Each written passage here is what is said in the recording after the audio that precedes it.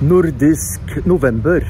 Det er navnet på den store kultursatsingen fra de norske ambassadene og instituttene her i Roma nå i høst. Katolsk.no har vært på Ibsen-aften her i Det norske institutt. Qui vi.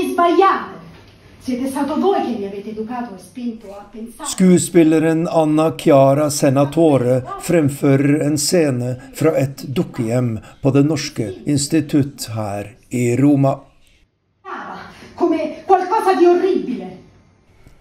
Det er Serata Ibseniana, Ibsen-aften, et av en rekke arrangementer under nordisk november. Nordisk november er en eh, kulturfestival eh, i Roma. Eh, som er et samarbeid mellom eh, ambassadene, de nordiske ambassadene og eh, de nordiske forskningsinstituttene. Det norske, det svenske, det danske og det finske. Samt Skandinavisk forening for eh, kunstnere.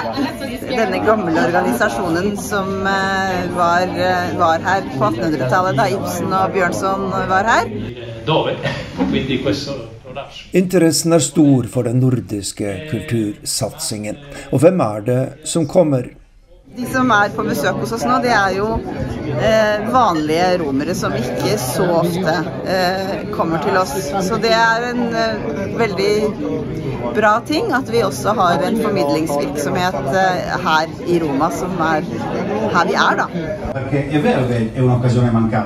Lederen for Ibsen-senteret ved Universitetet i Oslo, Giuliano D'Amico, holder foredrag om Ibsens tid i Roma, og han stiller et overraskende spørsmål. Var det en tapt mulighet? Ibsen eh, var aktiv i en slags enklave av altså Jeg brukte ordet expats, altså nordiske eh, fraflyttere, kunstneriske fraflyttere, som eh, bearbeidet italienske inntrykk på mange forskjellige måter. Men som også fungerte som en slags eh, delvis lukket miljø, som eh, opplevde Italia, eh, opplevde Italia som skandinavere.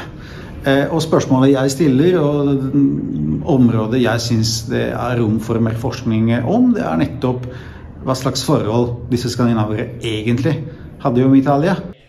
Og han besvarer spørsmålet slik. For å si det sånn, man, man dro ikke til Italia for å lære om samtiden. Eh, eller man ikke til Roma for å lære om samtiden. Altså, Roma var jo et sted eh, som altså, den, den kalles jo fortsatt for den evige stad. Dvs. Si et sted der fortiden var framtredende. Eh, og et eh, sted som på mange måter var et førmoderne sted. ikke sant? Der eh, dyr fortsatt var på beite på Colosseum og sånt. altså Det er jo det er ikke et sted der moderniteten var framtredende.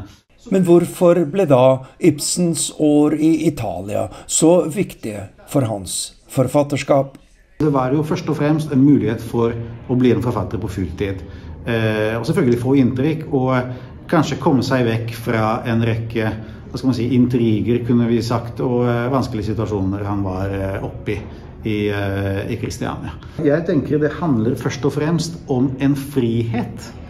En frihet om eh, med å være forfatter. Eh, og som sagt, som jeg nevnte tidligere, eh, kanskje komme seg litt vekk fra et miljø som han ikke lenger anså som produktivt.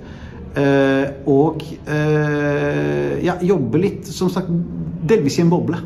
Delvis i en skandinavisk boble, der han kunne diskutere spørsmål med andre skandinavere uten det presset han følte i, eh, i, eh, i, i Kristiania. Dear friends in Rome, I warmly greet you from a cold day in Skien, Norway. Ibsenkvelden i Roma får en videohilsen fra Henrik Ibsens fødeby Skien, som nå forbereder en stor begivenhet. 200-årsjubileet for dikterens fødsel. Byen er nå blitt en del av et internasjonalt nettverk, Litteraturparkene. Eh, Litteraturparkene, eller Parche Letterari som det heter på italiensk, det er en eh, organisasjon som er dedikert til å fremme kjente forfattere i Italia og verden for øvrig. I Italia finnes det over 30 parker til alle de store italienske forfatterne, vil jeg nesten si. Jeg møter Toril Rambjørg ved huset der Ibsen bodde under et av sine Roma-opphold. Hun forteller at det nå er etablert litteraturparker flere steder i Norge. I Norge så finnes det fire litteraturparker. Eh, den første ble etablert på Røros til Johan Falkberget. Den andre på Røst til en italiener som strandet der på 1400-tallet, som het Pietro Querini. Men så, bare for eh, et år siden, så ble det etablert en litteraturpark på Lillehammer til vår nobelprisvinnerinne eh, Sigrid Undset. Og så i år så etableres det en litteraturpark i Skien til ære for Henrik Ibsen. Om siktemålet med litteraturparkene sier hun dette. Jeg tror det kan gi eh, de som er interessert i eh, litteratur, en ny måte å se steder på. Det kan bidra til større aktivitet på stedene det gjelder. Eh, og det kan gi et utgangspunkt for å utvikle relasjonen mellom Italia og Norge i større grad enn før. For katolsk.no, Arnt Stefansen, Roma.